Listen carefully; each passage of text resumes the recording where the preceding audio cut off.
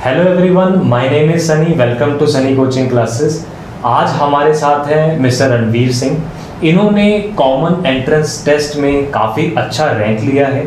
इनसे जानेंगे कि इनकी एग्ज़ाम प्रेपरेशन की स्ट्रेटजी कैसे रही, इनको सीईटी के बारे में कैसे पता चला, और किस तरीके से इनकी बताई हुई स्ट्रेटजी को आप भी यूज़ कर सकते हैं और आप भी टॉप रैंक ले सकते हैं इनके जैसे। तो पहले इंट्रोडक्शन से स्टार्ट करते हैं। तो सबसे पहले अपनी इंट्रोडक्शन दीजिए रणवीर आपका नाम सिटी स्कूल का नाम आपका रैंक और कौन सा एग्ज़ाम ਮੈਂ ਰਣਵੀਰ ਸਿੰਘ ਫਰੀਦਕੋਟ ਤੋਂ ਬਿਲੋਂਗ ਕਰਦਾ ਹਾਂ ਇਸ ਈਅਰ ਮੈਂ ਸੀਈਟੀ ਐਗਜ਼ਾਮ ਦਿੱਤਾ ਸੀ ਜਿਸ ਵਿੱਚ ਮੇਰਾ 17th ਰੈਂਕ ਆਇਆ ਠੀਕ ਹੈ ਜੀ ਵੈਰੀ ਗੁੱਡ ਸੀਈਟੀ ਤੁਸੀਂ ਕਿਸ ਯੂਨੀਵਰਸਿਟੀ ਦੇ ਲਈ ਦਿੱਤਾ ਸੀ ਮੈਂ CET PAU Punjab agriculture university ਲਈ ਦਿੱਤਾ ਸੀ ਸੀਈਟੀ ਤਾਂ ਇੱਕ ਕਾਮਨ ਐਂਟਰੈਂਸ ਟੈਸਟ ਹੈ ਜਿਹਦੇ ਵਿੱਚ ਸਾਰੇ ਕੋਰਸਸ ਆ ਜਾਂਦੇ ਨੇ ਤੁਸੀਂ ਕਿਹੜੇ ਕੋਰਸ ਐਡਮਿਸ਼ਨ ਲੈਣਾ ਚਾਹੁੰਦੇ ਹੋ ਮੈਂ ਸੀਈਟੀ ਚ ਦੇ ਕੇ ਬੀਐਸਸੀ ਐਗਰੀਕਲਚਰ ਵਿੱਚ ਐਡਮਿਸ਼ਨ ਲੈਣਾ ਚਾਹੁੰਦਾ। ਬੀਐਸਸੀ ਐਗਰੀਕਲਚਰ ਹੀ ਕਿਉਂ ਹੋਰ ਵੀ ਕਈ ਸਾਰੇ ਕੋਰਸਸ ਨੇ? ਹਾਰਟੀਕਲਚਰ ਫੂਡ ਟੈਕ ਬਾਇਓਟੈਕ ਬਹੁਤ ਸਾਰੇ ਨੇ। ਬੀਐਸਸੀ ਐਗਰੀਕਲਚਰ ਤੋਂ ਬਾਅਦ ਗ੍ਰੈਜੂਏਸ਼ਨ ਤੋਂ ਬਾਅਦ ਆਪਣੇ ਕੋਲ ਬਹੁਤ ਸਾਰੀ ਜੌਬ ਓਪਰਚੁਨਿਟੀਜ਼ ਹੁੰਦੀਆਂ ਇਸ ਲਈ ਮੈਂ ਬੀਐਸਸੀ ਐਗਰੀਕਲਚਰ 'ਚ ਜਾਣਾ ਚਾਹੁੰਦਾ। ਤੁਹਾਨੂੰ ਬੀਐਸਸੀ ਐਗਰੀਕਲਚਰ ਬਾਰੇ ਕਿਸ ਤਰ੍ਹਾਂ ਪਤਾ ਲੱਗਿਆ? ਸਾਨੂੰ ਪਹਿਲਾਂ ਬੀਐਸਸੀ ਐਗਰੀਕਲਚਰ ਬਾਰੇ ਸਕੂਲ 'ਚ ਦੱਸਿਆ ਗਿਆ ਸੀਗਾ ਵੀ ਇਹ ਜ਼ਿਆਦਾ ਵਧੀਆ ਆਪਸ਼ਨ ਹੈਗਾ ਜੇ ਤੁਹਾਡਾ ਨੀਟ ਲਈ ਨਹੀਂ ਹੋ ਰਿਹਾ ਤਾਂ ਉਸ ਤੋਂ ਬਾਅਦ ਡਿਟੇਲ ਲਈ ਗੂਗਲ ਤੇ ਸੰਨੀ ਕੋਚਿੰਗ ਕਲਾਸਿਸ ਬਾਰੇ ਤੋਂ ਪਤਾ ਲੱਗਿਆ।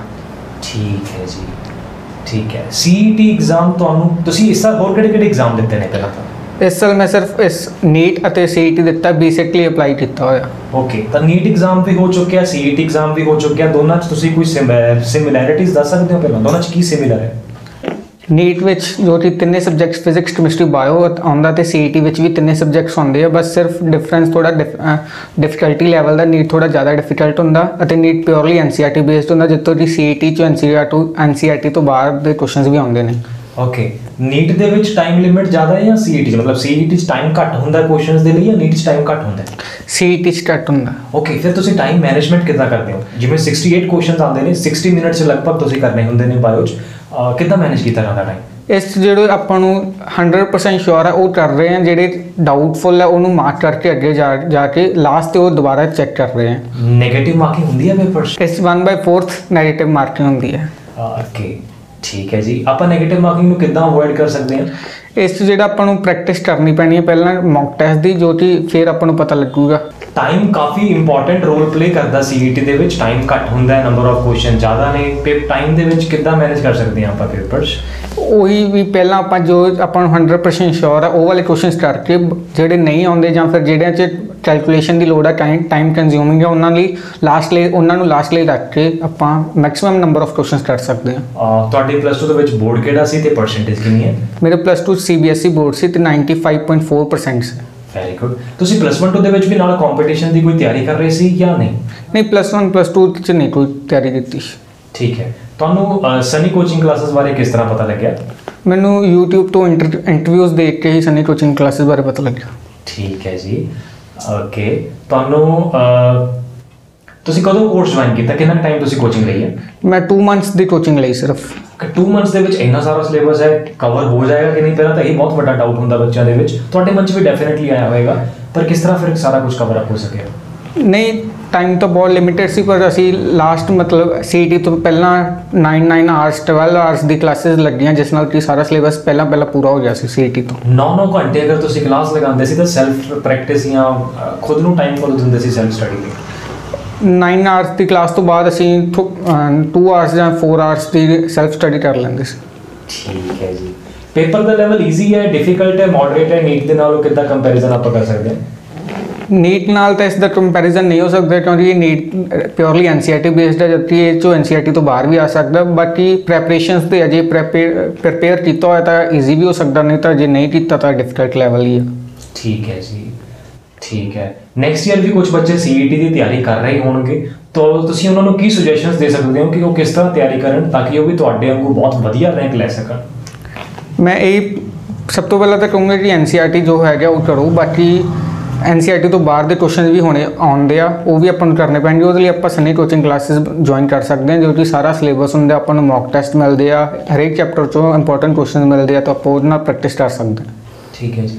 ਤੁਹਾਨੂੰ ਪੇਪਰ ਤੱਕ ਹੀ ਗਾਈਡ ਕੀਤਾ ਗਿਆ ਜਾਂ ਪੇਪਰ ਤੋਂ ਬਾਅਦ ਵੀ ਟੀਚਰਸ ਗਾਈਡ ਕਰ ਰਹੇ ਨੇ? ਨਹੀਂ ਪੇਪਰ ਤੋਂ ਬਾਅਦ ਵੀ ਸਾਨੂੰ ਕਾਉਂਸਲਿੰਗ ਬਾਰੇ ਸਾਰਾ ਕੁਝ ਦੱਸਿਆ ਗਿਆ ਸਪੈਸ਼ਲ ਸੈਸ਼ਨ ਲੱਗੇ ਉਸ 'ਚ ਦੱਸਿਆ ਗਿਆ। ਠੀਕ ਹੈ ਜੀ। ਆਊਟ ਆਫ ਕਲਾਸ ਟਾਈਮ ਤੁਸੀਂ ਆਨਲਾਈਨ ਕਲਾਸਿਸ ਲਗਾਈਆਂ ਜਾਂ ਆਫਲਾਈਨ ਅਸੀਂ ਮੈਂ ਆਨਲਾਈਨ ਕਲਾਸਿਸ ਲਈਆਂ ਕਈ ਬੱਚੇ ਕਹਿੰਦੇ ਨੇ ਕਿ ਯਾਰ ਆਨਲਾਈਨ ਕਲਾਸਿਸ ਪੜ੍ਹਿਆ ਨਹੀਂ ਜਾਂਦਾ ਘਰੇ ਮਾਹੌਲ ਨਹੀਂ ਬਣਦਾ ਰੈਗੂਲਰ ਬੈਠਿਆ ਨਹੀਂ ਜਾਂਦਾ। ਤੁਸੀਂ ਕਿੱਦਾਂ ਦੇਖਦੇ ਹੋ ਨਹੀਂ ਜੇ ਮਤਲਬ ਆਪ ਆਪਾਂ ਕਨਫਰਮ ਹੋ ਜਾਏ ਡਿਟਰਮਾਈਂਡ ਹੋ ਜਾਏ ਤਾਂ ਫਿਰ ਆਪਾਂ ਆਨਲਾਈਨ ਵੀ ਪੜ੍ਹ ਸਕਦੇ ਹਾਂ। ਠੀਕ ਹੈ ਜੀ। ਕੁਝ ਬੁੱਕਸ ਰეკਮੈਂਡ ਕਰ ਸਕਦੇ ਹੋ? ਸੀਈਟੀ ਦੇ? ਲਈ ਆਪਾਂ ਨੂੰ ਜੋ ਸਨੀ ਕੋਚਿੰਗ ਕਲਾਸਿਸ ਨੇ ਮਟੀਰੀਅਲ ਦਿੱਤਾ ਪੋਰਟਲ ਮਿਲਿਆ, ਜੋ ਉਸ ਤੇ ਸਾਰਾ ਮਟੀਰੀਅਲ ਸੀਗਾ ਥਿਊਰੀ ਵੀ ਸੀ ਪ੍ਰੈਕਟਿਸ ਕੁਐਸਚਨ ਵੀ ਸੀ, ਉਸ ਤੋਂ ਆਪਾਂ ਕਰ ਸਕਦੇ ਹਾਂ, ਮੈਂ ਤਾਂ ਉਹੀ ਕੀਤਾ ਸੀ। ਠੀਕ ਹੈ।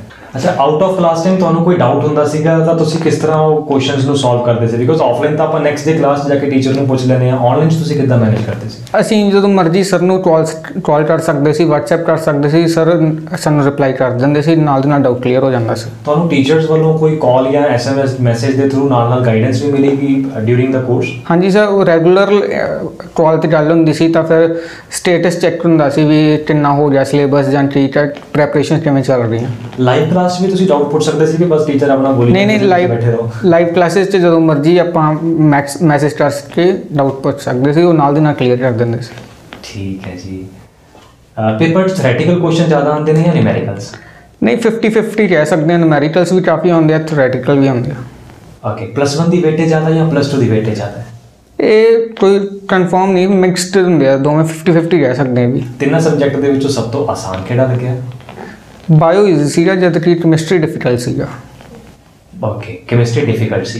ਕੈਮਿਸਟਰੀ 'ਚ ਕੋਈ ਚੈਪਟਰ ਦਾ ਨਾਮ ਦੱਸ ਸਕਦੇ ਹੋ? ਜਿਹਦੇ 'ਚੋਂ ਨੰਬਰ ਆਫ ਕੁਐਸਚਨ ਸ਼ਾਇਦ ਜ਼ਿਆਦਾ ਆਏ ਹੋਣ ਜਾਂ ਜ਼ਿਆਦਾਤਰ ਦੇਖਣ ਨੂੰ ਮਿਲੇ ਹੋਣ ਵੀ ਆ ਵੀ ਉਹੀ ਚੈਪਟਰ ਦਾ। ਆਰਗੈਨਿਕ ਦੀ ਆਰਗੈਨਿਕ ਦੀ ਵੇਟੇਜ ਥੋੜੀ ਜ਼ਿਆਦਾ ਸੀ ਜੀ।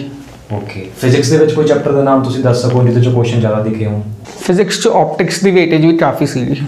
ਓਕੇ ਕੈਮਿਸਟਰੀ 'ਚ ਵੀ ਨਿਊਮੈਰੀਕਲਸ ਸੀਗੇ ਜਾਂ ਜ਼ਿਆਦਾਤਰ ਥਿਓਰੈਟੀਕਲ ਕੁਐਸਚਨਸ ਸੀ? ਨਹੀਂ ਕੈਮਿਸਟਰੀ 'ਚ ਵੀ ਨੂਮੈਰੀਕਲ ਸੀ ਜੀ। ਅੱਛਾ ਕਈ ਬੱਚੇ ਪੁੱਛਦੇ ਹੁੰਦੇ ਨੇ ਵੀ ਭਾਈ 200 ਕੁਐਸਚਨਸ ਨੇ ਜਿਵੇਂ ਘੱਟੋ ਘੱਟ ਕਿੰਨੇ ਕੁ ਕੁਐਸਚਨ ਕਰਕੇ ਆਈਏ ਪਾਸ ਹੋਣ ਲਈ? ਕੁਝ ਹੈ ਇਦਾਂ ਦਾ ਜਾਂ ਜਿੰਨੇ ਆਉਂਦੇ ਹੋਣ ਉਨੇ ਕਰਨੇ ਚਾਹੀਦੇ? ਨਹੀਂ ਜਿੰਨੇ ਆਉਂਦੇ ਆ ਉਨੇ ਹੀ ਕਰਨੇ ਚਾਹੀਦੇ ਆ ਕੋਈ ਵੀ ਤੁੱਕਾ ਨਹੀਂ ਲਾਉਣਾ ਚਾਹੀਦਾ। ਮਤਲਬ ਕਿ ਬਾਅਦ ਚੋਂ 네ਗੇਟਿਵ ਮਾਰਕਿੰਗ 'ਚ ਜ਼ਿਆਦਾ ਨੁਕਸਾਨ ਹੁੰਦਾ ਤੇ ਬਾਕੀ ਨੰਬਰ ਆਫ ਕੁਐਸਚਨਸ ਮੈਟਰ ਕਰਦੇ ਹਰੇਕ ਈਅਰ ਟੂ ਈਅਰ ਮੈਰਿਟ ਤੇ ਬੇਸਿਸ ਤੇ ਹੁੰਦਾ ਹੈ। ਠੀਕ ਹੈ। ਸੈਲਫ ਸਟੱਡੀ ਕਿੰਨੀ ਕੀ ਇੰਪੋਰਟੈਂਟ ਹੈ ਕਲਾਸਿਸ ਦੇ ਨਾਲ ਨਾਲ? ਸੈਲਫ ਸਟੱਡੀ ਵੈਸੇ ਤਾਂ ਇੰਪੋਰਟੈਂਟ ਹੈ ਬਟ ਜੇ ਆਪਾਂ ਕਲਾਸਿਸ ਲਾ ਰਹੇ ਹਾਂ ਤਾਂ ਉਹ ਕਲਾਸਿਸ 'ਚ ਵੀ ਸਾਰਾ ਸਿਲੇਬਸ ਕਵਰ ਹੋ ਜਾਂਦਾ। ਜਿਸ ਤਰ੍ਹਾਂ ਦੇ ਕੁਐਸਚਨ ਤੁਹਾਨੂੰ ਕਲਾਸ 'ਚ ਕਰਾਏ ਗਏ ਜਾਂ ਮਟੀਰੀਅਲ 'ਚ ਮਿਲੇ ਕਿ ਐਗਜ਼ਾਮ 'ਚ ਵੀ ਉਦਾਂ ਦੇ ਦੇਖਣ ਨੂੰ ਮਿਲੇ? ਹਾਂਜੀ ਉਸ ਲੈਵਲ ਦੇ ਉਸ ਦੇ ਸਾਰੇ ਸੀ ਬਾਕੀ ਬਹੁਤ ਸਾਰੇ ਇਹ ਸੀ ਜੋ ਸੇਮ ਕੁਐਸਚਨਸ ਹੀ ਸੀਗੇ। ਓਕੇ ਮਤਲਬ ਕੁਝ ਕੁਐਸਚਨਸ ਐਗਜ਼ੈਕਟਲੀ ਸਿਮਿਲਰ ਹਾਂਜੀ, similar। ਠੀਕ ਹੈ ਨਾਈਸ ਫੁੱਲ ਸਿਲੇਬਸ ਦੇ ਮੌਕ ਟੈਸਟ ਪੇਪਰਸ ਦੀ ਪ੍ਰੈਕਟਿਸ ਕਿੰਨੀ ਕੁ ਜ਼ਰੂਰੀ ਹੈ ਸੀਈਟੀ ਦੀ ਪ੍ਰੈਪਰੇਸ਼ਨ ਲਈ? ਉਹ ਬਹੁਤ ਜ਼ਰੂਰੀ ਫੁੱਲ ਸਿਲੇਬਸ ਦਾ ਮੌਕ ਟੈਸਟ ਉਹਦੇ ਨਾਲ ਆਪਾਂ ਨੂੰ ਟਾਈਮ ਦੀ ਲਿ- ਪਤਾ ਲੱਗਦਾ ਟਾਈਮ ਲਿਮਿਟ ਕਿਵੇਂ ਯੂਜ਼ ਕਰਨੀ ਟਾਈਮ ਕਿਵੇਂ ਯੂਜ਼ ਕਰਨਾ, ਬਾਕੀ ਆਪਣੀ 네ਗੇਟਿਵ ਮਾਰਕਿੰਗ ਨੂੰ ਕਿਵੇਂ ਬਚਾਉਣਾ, ਇਸ ਲਈ ਉਹ ਬਹੁਤ ਜ਼ਰੂਰੀ। ਠੀਕ ਹੈ ਜੀ, ਠੀਕ ਹੈ। ਅੱਛਾ, ਅਗਰ ਮੰਨ ਲਓ ਨੀਟ ਦੇ ਵਿੱਚ ਵੀ ਹਜੇ ਦਾ ਰਿਜ਼ਲਟ ਨਹੀਂ ਆਇਆ, ਖੈਰ, ਕਾਫੀ ਅੱਛਾ ਸਕੋਰ ਆ ਜਾਂਦਾ, ਫਿਰ ਤੁਸੀਂ ਨੀਟ ਦੇ ਅੰਡਰ ਕੋਈ ਕੋਰਸ ਕੰਸੀਡਰ ਕਰੋਗੇ ਜਾਂ ਸਟਿਲ ਐਗਰੀਕਲਚਰ ਨਹੀਂ ਮੈਂ ਹੁਣ ਪੀਏਯੂ ਚ ਐਡਮਿਸ਼ਨ ਲੈ ਰਿਹਾ ਬੀਐਸਸੀ ਐਗਰੀਕਲਚਰ ਚ। ਓਕੇ ਉਸ ਤੋਂ ਬਾਅਦ ਨੀਟ ਦੇ ਵਿੱਚ ਚਾਹੇ ਜਿੰਨਾ ਮਰਜ਼ੀ ਅੱਛਾ ਰੈਂਕ ਆਵੇ ਐਮਬੀਬੀਐਸ ਵੈਟਰਨਰੀ ਕਿਸੇ 'ਚ ਨਹੀਂ ਜਾਣ ਦਾ ਪਲਾਨ ਹਾਂਜੀ। ਠੀਕ ਹੈ ਵੈਰੀ ਗੁੱਡ ਬੋਟਨੀ ਜ਼ਿਆਦਾ ਦੇਖਣ ਨੂੰ ਮਿਲੀ ਜਾਂ ਜ਼ੂਲੌਜੀ ਬਾਇਓਲੋਜੀ ਦੇ ਵਿੱਚ? ਨਹੀਂ 50 50 ਕਹਿ ਸਕਦੇ ਹਾਂ ਬਾਕੀ ਥੋੜੀ ਜਿਹੀ ਬੋਟਨੀ ਜ਼ਿਆਦਾ ਸੀ। ਓਕੇ ਥਿਓਰੈਟਿਕਲ ਥਿਊਰੀ ਤੇ ਜ਼ਿਆਦਾ ਪ੍ਰੈਕਟਿਸ ਕਰਨੀ ਚਾਹੀਦੀ ਹੈ ਜਾਂ ਕੁਐਸਚਨਸ ਦੀ ਜ਼ਿਆਦਾ ਪ੍ਰੈਕਟਿਸ ਕਰਨੀ ਚਾਹੀਦੀ ਹੈ? ਇਹ ਦੋਵੇਂ ਬਹੁਤ ਇੰਪੋਰਟੈਂਟ ਹੈ ਪਹਿਲਾਂ ਆਪਾਂ ਨੂੰ ਥਿਊਰੀ ਕਰਨੀ ਚਾਹੀਦੀ ਹੈ ਬਾਅਦ ਚ ਕੁਐਸਚਨਸ ਚੈਪਟਰ ਵਾਈਜ਼ ਕੁਐਸਚਨਸ ਦੀ ਪ੍ਰੈਕਟਿਸ ਜ਼ਿਆਦਾ ਜ਼ਰੂਰੀ ਹੈ ਜਾਂ ਫੁੱਲ ਸਿਲੇਬਸ ਦੇ ਕੁਐਸਚਨਸ ਦੀ ਪ੍ਰੈਕਟਿਸ ਇਨੀਸ਼ੀਅਲ ਡੇਜ਼ 'ਚ ਮਤਲਬ ਕਿ ਸਟਾਰਟਿੰਗ 'ਚ ਆਪਾਂ ਨੂੰ ਚੈਪਟਰ ਵਾਈਜ਼ ਪਰ ਲਾਸਟ ਡੇਜ਼ 'ਚ ਆ ਕੇ full syllabus test question paper ਕਰਨੇ ਚਾਹੀਦੇ ਫੁੱਲ ਸਿਲੇਬਸ ਮੌਕ ਟੈਸਟ ਤੁਹਾਨੂੰ ਕਿੰਨੇ ਕੁ ਪ੍ਰੋਵਾਈਡ ਕਰ ਦਿੱਤੇ ਹੋਣਗੇ ਕੋਚਿੰਗ ਸੈਂਟਰ ਨੇ? ਸਾਨੂੰ 5 ਆਫਲਾਈਨ ਆਨਲਾਈਨ ਮਿਲੇ ਸੀ ਜੇ ਸੋਲਵ ਕਰਨ ਲਈ ਬਾਕੀ ਕਲਾਸਿਸ 'ਚ ਅਸੀਂ 5 ਦੇ ਨੀਅਰ ਅਬਾਊਟ ਆਪ ਸੋਲਵ ਕੀਤੇ ਆਨਲਾਈਨ ਕਲਾਸਿਸ ਦੇ ਵਿੱਚ। ਠੀਕ ਹੈ ਜੀ।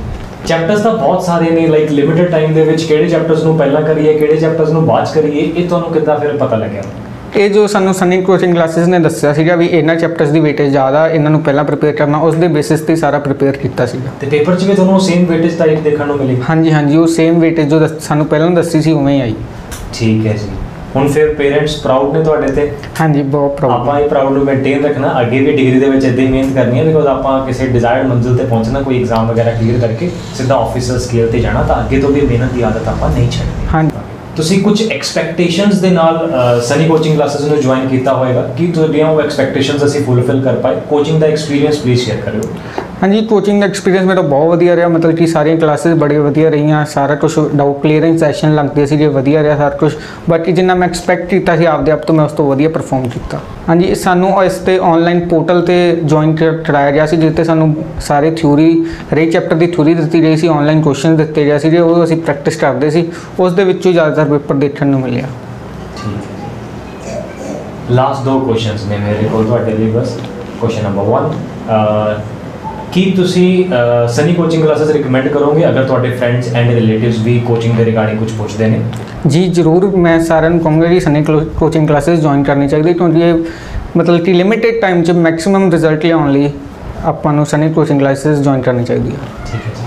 ਕਿ ਇਹ ਵੀਡੀਓ ਆਪਣੀ ਸਕ੍ਰਿਪਟਡ ਸੀ ਤੁਹਾਨੂੰ ਸਕ੍ਰਿਪਟ ਦਿੱਤੀ ਗਈ ਕਿ ਭਾਈ ਇਹ ਦੇਖ ਕੇ ਬੋਲਿਓ ਕਿ ਤੁਸੀਂ ਆਪਣੇ ਮਨ ਚੋਂ ਜੋ ਆ ਰਿਹਾ ਉਹ ਦੱਸਦੇ ਨਹੀਂ ਨਹੀਂ ਜੋ ਮੈਂ ਆਪ ਦਾ ਐਕਸਪੀਰੀਅੰਸ ਸ਼ੇਅਰ ਕੀਤਾ ਸਾਰਾ ਠੀਕ ਹੈ ਕੀ ਅਸੀਂ ਵੀਡੀਓ ਫਿਊਚਰ ਦੇ ਵਿੱਚ ਆਪਣੇ ਸੋਸ਼ਲ ਮੀਡੀਆ ਪਲੇਟਫਾਰਮ ਤੇ ਸ਼ੇਅਰ ਕਰ ਸਕਦੇ ਹਾਂ ਹਾਂਜੀ ਹਾਂਜੀ sir thank you so much for giving your time Ranveer ਅਸੀਂ ਇਹੀ ਪ੍ਰੇ ਕਰਦੇ ਹਾਂ ਕਿ ਤੁਸੀਂ ਅੱਗੇ ਤੋਂ ਵੀ ਇਦਾਂ ਹੀ ਹਾਰਡ ਵਰਕ ਕਰਦੇ ਰਹੋ ਤੇ ਆਪਣੀ ਡਿਜ਼ਾਇਰਡ ਮੰਜ਼ਿਲ ਤੇ ਜ਼ਰੂਰ ਪਹੁੰਚੋ। Thank you so much for giving your time and all the best for your bright future thank you sir thank you